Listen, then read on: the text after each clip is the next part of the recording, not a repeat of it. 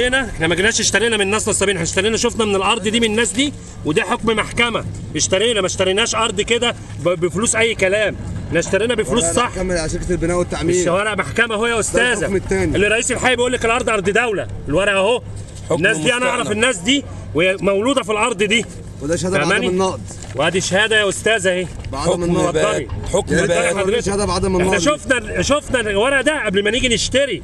كان فين رئيس الحي لما حط طوبة؟ كان فين البيمة رايح جاي على العمارة؟ فين النهارده بصي بصي بصي النهارده مش عارفين شركات المعمار كلها واقفة النهارده بسبب إن الأسمنت ب 800 جنيه وهو بينزل أسمنت. شركات المقاولات كلها واقفة النهارده عشان بسبب إن الأسمنت ب 800 جنيه وهو بينزل الأسمنت. بينزل الطوب وبينزل الحديد. فين فلوس الدولة؟ بيدور على فلوس الدولة. كان فين هو أيام ما كانت العماير دي بتتبني؟ كان فين؟ بقالهم ثلاث سنين شغالين. كان فين بقالنا ثلاث سنين هنا شغالين.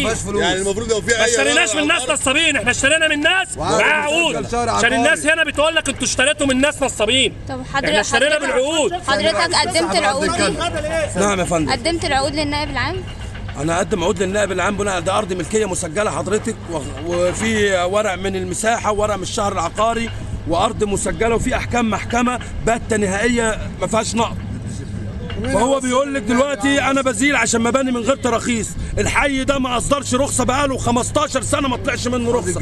جميع العقارات اللي هنا في دار السلام مبنية بدون تراخيص والحي ما بيطلعش تراخيص.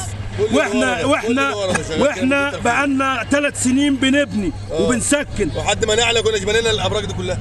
فما- فجايين النهارده بعد ما الثوره دي مش ثوره الثوره دي ثوره مباني. ما يخش المعادي جوه يخش يشوف التعليق. المعادي كلها واخده المعادي كلها واخدة أرض وأربع أدوار. كل المعادي اتبنت.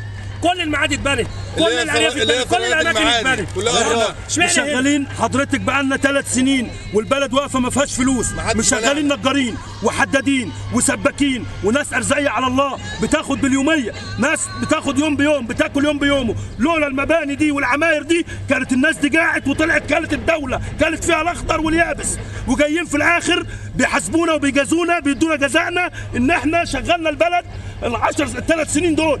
الثلاث سنين دول الناس لا شغل. ولا فلوس ولا حاجة بلطجة وسرقة ونصب وإرهاب وقلة أدب إحنا شغلنا البلد في الثلاث سنين دول شغلنا السباكين والنجارين والحدادين والسواقين والصنايعية والأسمنت والحديد كل كام فئة حضرتك شغالة كل طائفة المعمار بالكامل. شغلناها بفلوس الغلابة اللي زي حالاتنا عاملين جمعيات ولمينها من بعضينا كل عمارة من دي فيها الناس اللي واقفة 30 دي واحد مساهم العمال. كل 30 الناس اللي واحد. 30 واحد دافعين فلوس في كل عمارة من دي عشان نشغل البلد. ولا كانت الناس تطلع تسرق ولا تطلع تشتغل مع الإرهابيين ولا نطلع نفجر نفسينا ولا نعمل إيه. إحنا شغالين بما يرضي الله شغالين بما يرضي الله. عايزين ناكل عيش بالحلال. طب دلوقتي- ما ادوناش رخص. دلوقتي قرار الازاله قرار الازاله طلع هتعمل إيه؟ هنقف. إحنا عايزين إحنا بنستغيث بنستغيث بالنائب العام بنستغيث برئيس مجلس الوزراء. يجي إحنا راجعين عن خط التنظيم. المباني صالحة. المباني غير مخالفة. راجعين خط التنظيم 30 متر الشارع إحنا راجعين 10 متر لورا بعد خط التنظيم.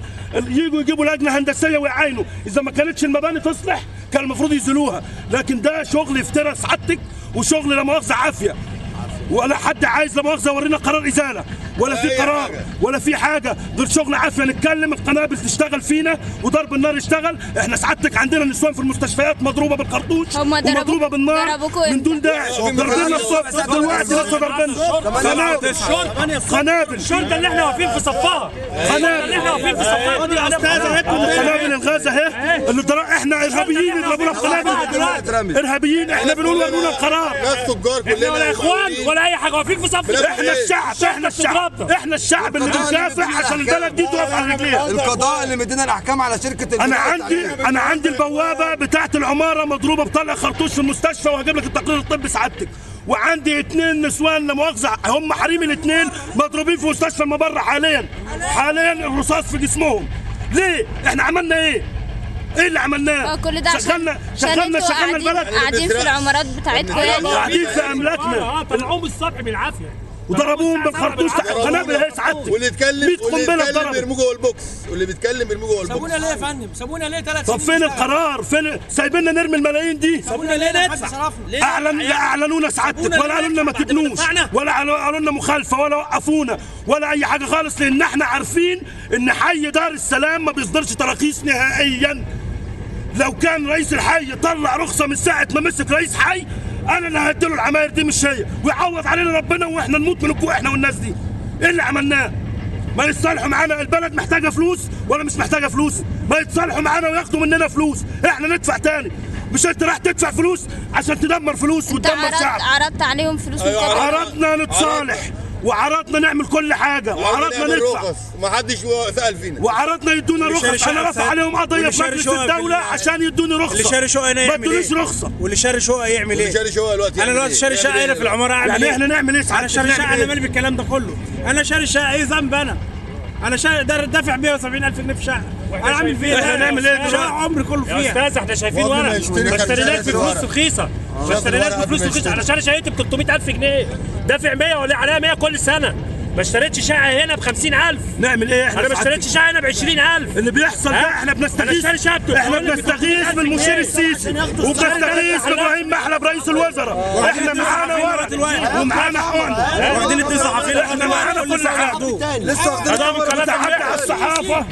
تعدي على الصحافة. ضربوا الصحفيين اللي جونا وخدوا منهم الكاميرات. ضربوا الصحفيين فين؟